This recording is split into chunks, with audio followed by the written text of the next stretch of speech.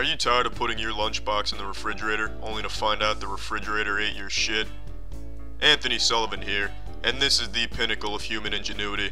It's called the fridge locker. It is the food security system of the future. You can put your moonshine in there, your absinthe. It's got a fucking three digit combination for maximum security. It keeps your food safe, you son of a bitch. You have expired bread, put it in the fridge locker. Make it better bread. Tired of your kids shitting in your lunchbox? Well, throw your food in the portable Fort Knox. They won't get it. You can put it in the fridge, freezer, pantry, your asshole. Open it like a mailbox. Use it as a flimsy shelf.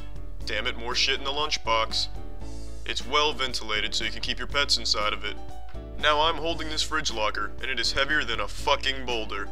This pile of plastic is your knight in shining armor if you happen to have food allergies.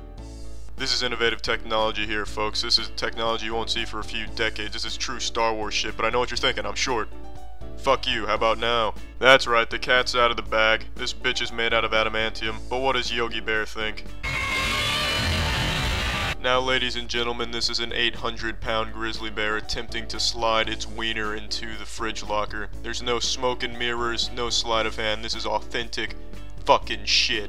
The fridge locker is perfect if you need to put entire dorms, offices, or homes inside of something. You can even travel from inside of the fridge locker. The possibilities are endless with the fridge locker.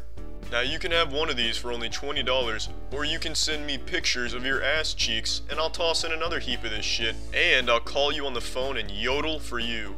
That's right, this milestone in human engineering could be yours for only $20. You could be the envy of your neighbors and have two of them for only $20.